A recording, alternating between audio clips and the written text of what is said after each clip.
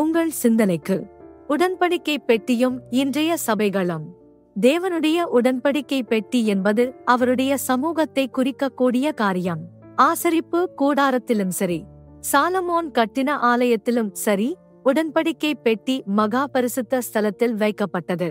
எரிகோமை சுற்றி வரும் பொழுது இஸ்ரவேல் ஜனங்கள் இந்த உடன்படிக்கை பெட்டியை எடுத்துக்கொண்டு சுற்றி வந்தார்கள். சவுல் போர்க்களத்தில் உடன்படிக்கை பெட்டியை கொண்டு வர கட்டளையிட்டதாக பார்க்கலாம். ஏலியின் காலத்தில் பெலிஸ்தியர் இந்த உடன்படிக்கை பெட்டியை எடுத்து சென்றபோது தேவ மகிமை இஸ்ரவேலை விட்டு கடந்து போனதாக பார்க்கலாம். ஆனால் சாலமோன் கட்டின ஆலயம் இடிக்கப்பட்ட பிறகு புதுப்பிக்கப்பட்ட தேவாலயத்தில் இந்த உடன்படிக்கை பெட்டி இல்லை.